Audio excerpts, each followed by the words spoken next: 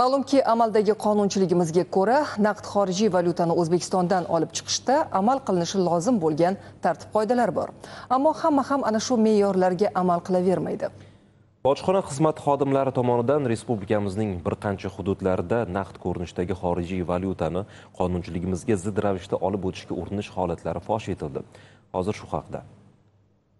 O'zbekiston respublikasining valyutani tartibga solish to'g'risidagi qonuniga muvofiq davlat bojxona qo'mitasi o'zbekiston respublikasida valyutani nazorat qiluvchi organlardan biri hisoblanadi. Turli nayranglarni qo'llagan holda yurtimizdan naqd xorijiy valyutalarni noqonuniy tarzda olib chiqishga bo'lgan urinishlarga qarshi respublikamiz bojxonachilari tomonidan tizimli ravishda kurash olib borilmoqda. Ma'lumki o'zbekiston respublikasi qonunchiligiga muvofiq jismoniy shaxslar tomonidan o'zbekiston respublikasi hududiga bojxona nazorati qoidalariga rioya qilgan holda naqd valyuta mablag'larini olib kirish cheklanmagan miqdorda amalga oshiriladi.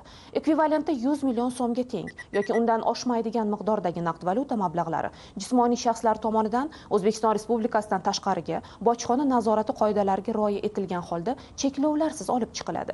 Yetmish million so'mdan ortgan qismini deklaratsiyada ko'rsatsa bas. Ammo ayrim shaxslar tomonidan mazkur tartiblarga rioya qilmasdan turib naqd xorijiy valyutalarni noqonuniy ravishda olib o'tishga bo'lgan urinishlar hamon ko'zga tashlanmoqda. Xususan toshkent viloyati bojxona boshqarmasi yallama chegara bojxona postiga qo'shni mamlakatga chiqish maqsadida mercedes benz rusumli avtotransport vositasida kirib kelgan. Fuqaro qodirovning xatti harakatlari bojxonachilar e'tiborini tortdi va ushbu shaxs o'rnatilgan tartibda bojxona ko'rigidan o'tkazildi. Natijada avtotransport vositasining salonida turgan qora rangli portfelga klod laqabli xizmat iti maxsus belgi berdi. Belgilangan tartibda o'tkazilgan ko'rik natijasida portfel ichida yo'lovchi bojxona deklaratsiyasi yozib ko'rsatilmagan va og'zaki so'rovda aytilmagan bir million miqdorda rossiya rubli borligi aniqlandi. Toshkent viloyati bojxona boshqarmasi najimov chegara bojxona postida aniqlangan navbatdagi holatda fuqaro masaidov boshqaruvida qo'shni mamlakatga o'tish uchun kirib kelgan man rusumli yuk avtotransport vositasi bojxona ko'rigidan o'tkazildi. Natijada esa avtotransport vositasining kabinasida yuk hujjatlari uchun mo'ljallangan qo'l sumkasi ichida yo'lovchi bojxona deklaratsiyasida yozib ko'rsatilmagan va og'zaki so'rovda ma'lum qilinmagan bir million rossiya rubli miqdoridagi naqd xorijiy valyuta borligi aniqlandi. Toshkent viloyati bojxona boshqarmasining g'isht ko'prik chegara bojxona postida aniqlangan. Navbatdagi holatda esa post hududiga piyoda holda kirib kelgan fuqaro abdullajonov xatti harakatlari bilan bojxona xodimlarida shubha uyg'otganligi sababli fuqaroning o'zi va unga tegishli bo'lgan yuklar belgilangan tartibda bojxona nazoratidan o'tkazildi. Natijada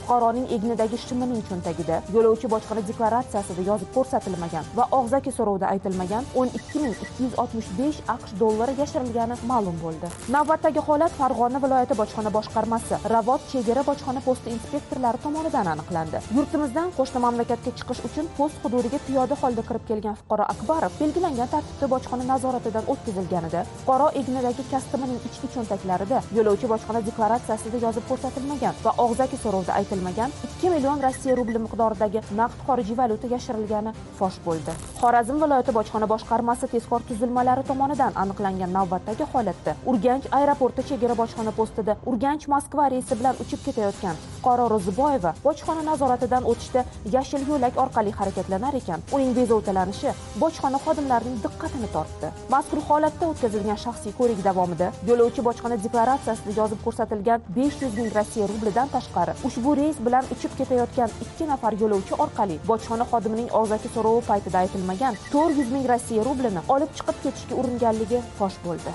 Navbatdagi holat toshkent xalqaro aeroportida aniqlandi. Poytaxt aeroporti orqali dubay shahriga otlangan yo'lovchining harakatlari bojxona posti inspektorlarining e'tiborini tortdi. Shundan so'ng ushbu yo'lovchi va uning qo'l yuklari o'rnatilgan tartibda bojxona ko'rigidan o'tkazildi. Natijada fuqaro akramjonovning ryukzagi ichida yo'lovchi bojxona deklaratsiyasida yozib ko'rsatilgan sakkiz ming sakkiz yuz aqsh dollaridan tashqari bojxona xodimlariga og'zaki so'rov paytida aytilmagan va bojxona nazoratidan yashirilgan o'n ming aqsh dollari borligi aniqlandi. Hozirgi vaqtda yuqorida keltirilgan barcha holatlar yuzasidan bojxona organlari tomonidan surishtiruv harakatlari olib borilmoqda. Raqamlarga ko'ra davlat bojxona qo'mitasi tomonidan ikki ming yigirma ikkinchi yilning o'tgan davri mobaynida aniqlangan 118 ta qonun buzilishi holatlarida ekvivalenti o'n yetti milliard to'rt yuz sakson million so'mga teng naqd xorijiy valyutaning shu jumladan 1 million bir yuz to'qson ming aqsh dollarining noqonuniy olib o'tilishiga o'z vaqtida chek qo'yilgan. Bu ko'rsatkich o'tgan yilning mos davri bilan solishtirilganda 9 barobarga ortganini ko'rsatadi. Ya'ni ikki ming yigirma birinchi yilda aniqlangan 40 ta holatda ekvivalenti 1 milliard to'qqiz yuz ellik uch million so'mga teng naqd xorijiy valyutaning shu jumladan bir yuz yetmish to'qqiz ming aqsh dollarining noqonuniy olib o'tilishiga chek qo'yilgan.